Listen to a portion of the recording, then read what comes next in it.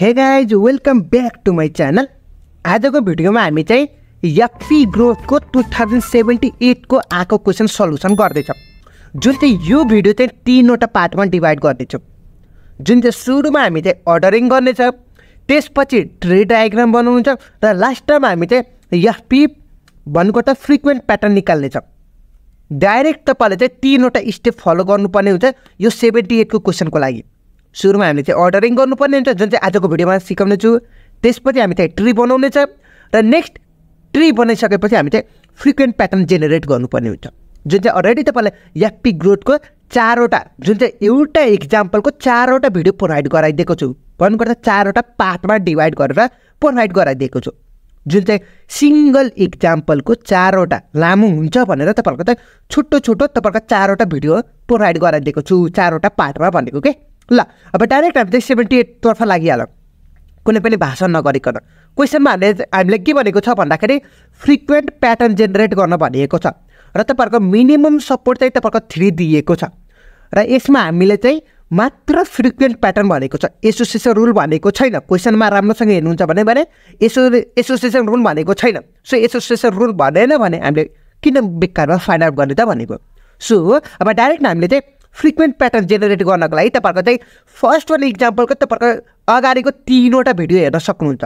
जुन चाहिँ सुरुमा हामीले चाहिँ अर्डरिङ गरेको छौँ त्यसपछि ट्री बनाएको छौँ र थर्ड वान पार्टमा हामी चाहिँ फ्रिक्वेन्ट प्याटर्न जेनेरेट गरेको छौँ।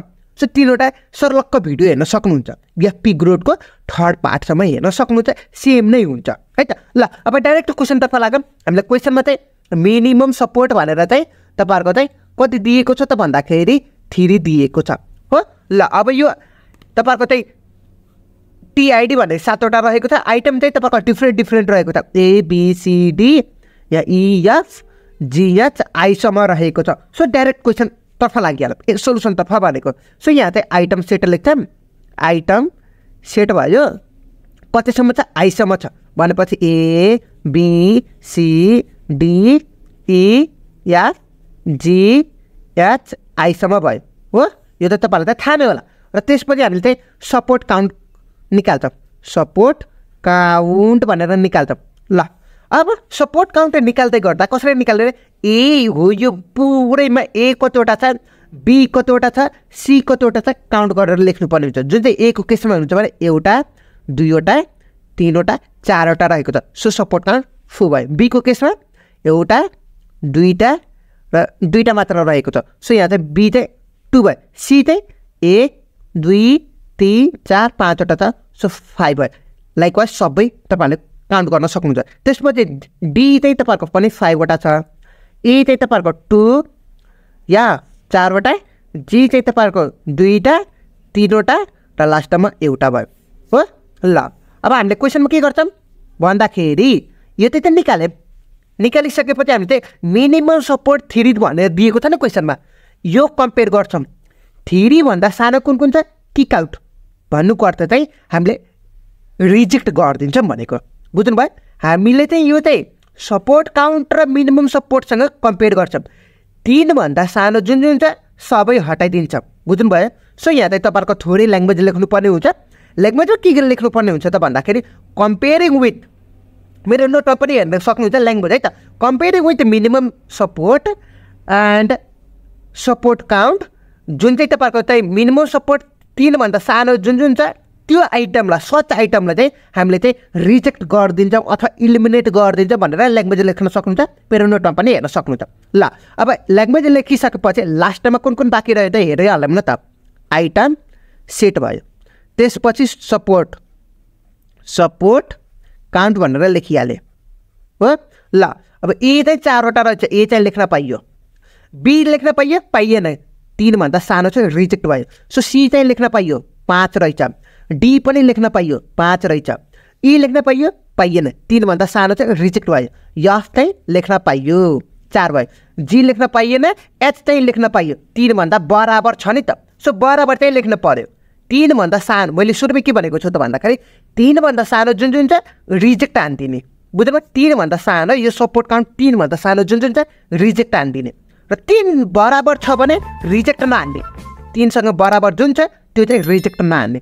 जुन चाहिँ यो केसमा रिजेक्ट कुन कुन हुने भयो एउटा वान र टू वान र टू जुन जुन छ त्यो मात्रै रिजेक्ट हुने भयो। बुझ्नुभयो? सो रिजेक्ट भएको टेबल चाहिँ लास्टमा यसरी भयो। ल रिजेक्ट भएको टेबल लास्टको फाइनल जुन चाहिँ यो बाँकी रह्यो हामीसँग। हो? यो बाँकी रह्यो। अब यसकै आधारमा हामीले चाहिँ के गर्छौँ त भन्दाखेरि यो सपोर्ट काउन्ट जुन जुन ठुलो छ त्यसकै आधारमा top order छुट्याइदिन्छौँ।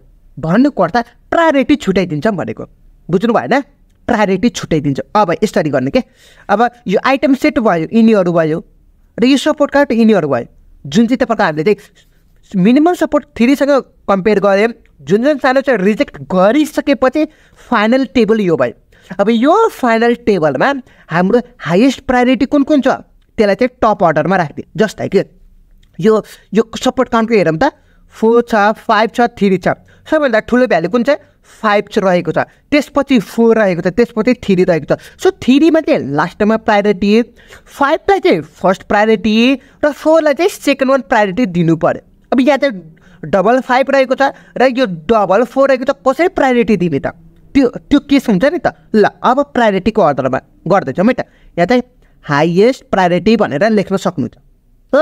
So highest priority order गर्नुपर्दा मैले यहाँ चाहिँ लेखिदिन्छु है त। आइटम सेट यहाँ चाहिँ थोरै बिचमा।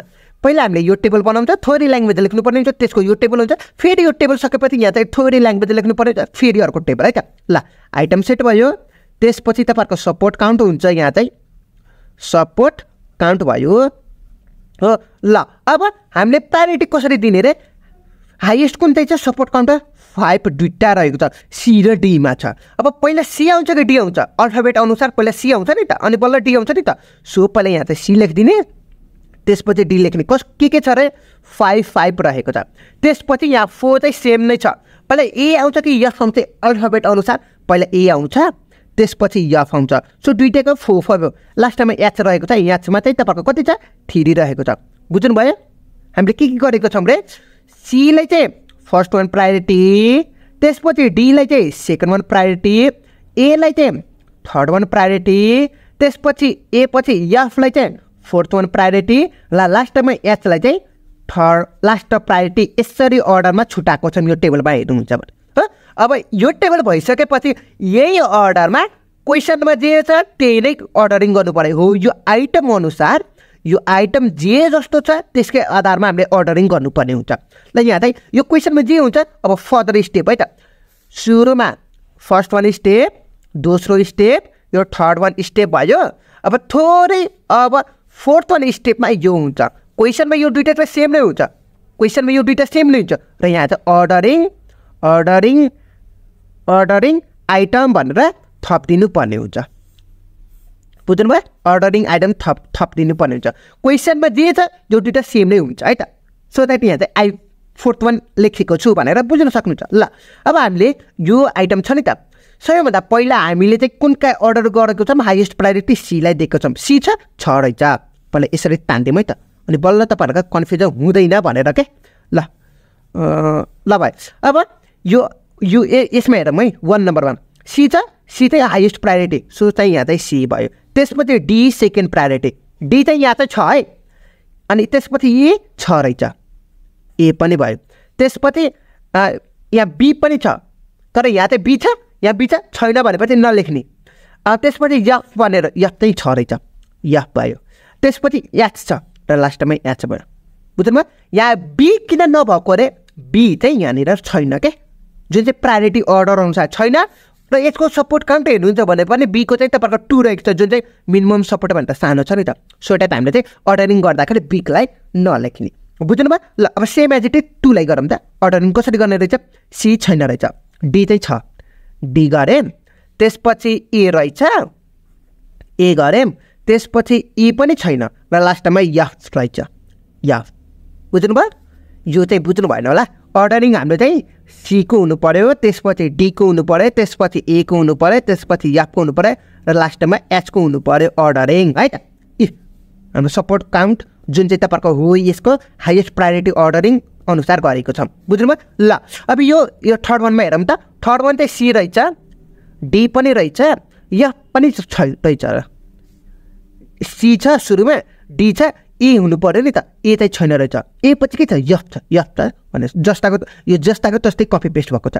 बी र एचमा बी चाहिँ छैन। एच मात्र रहेछ। एच भने चाहिँ सबभन्दा लास्टमा। सो यहाँ चाहिँ एच मात्र भयो। अब त्यसपछि सी छ। त्यसपछि सी पछि डी पनि छैन। ए चाहिँ छ रहेछ। अनि त्यसपछि यफ छ। त्यसपछि एच भयो। बुझ्नुभयो? सिएएफएच ल अब लास्टमा भने। सी पनि छ। डी पनि छ। ई छैन जी पनि छैन ई र जी चाहिँ छैन। भनेपछि सी र डी मात्र हुने भयो। ल लास्ट वानमा सी छ डी पनि छ ए पनि भयो आई चाहिँ छैन रहेछ। सो सिडिए मात्र हुने भयो। यो अर्डरिङ गरेँ। ल आजको भिडियो चाहिँ यति नै गर अर्डरिङसम्म नेक्स्ट भिडियोमा यो अर्डरिङ गरेकै ट्री बनाउने हो। सो नेक्स्ट भिडियोको लागि स्टेट्युट र च्यानललाई सब्सक्राइब गर्नुभएको छैन भने च्यानललाई सब्सक्राइब गर्न नबिर्सिनु होला।